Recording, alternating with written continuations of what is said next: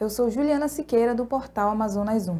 O Ministério Público Federal reconheceu a prescrição do caso Triplex no Guarujá, em São Paulo, contra o ex-presidente Lula, o qual foi acusado de lavagem de dinheiro e corrupção.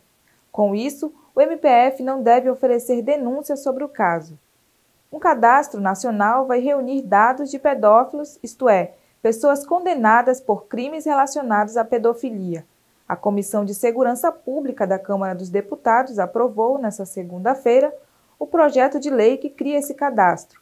Os dados serão levantados pelo Conselho Nacional de Justiça e, além das informações, a ficha contará com foto do condenado. Quer ficar bem informado? Acesse nossas redes sociais e até mais. A notícia na palma da sua mão, em um clique. E a informação com qualidade você encontra aqui no Amazonas 1. Seja nosso parceiro. Anuncie em amazonas1.com.br.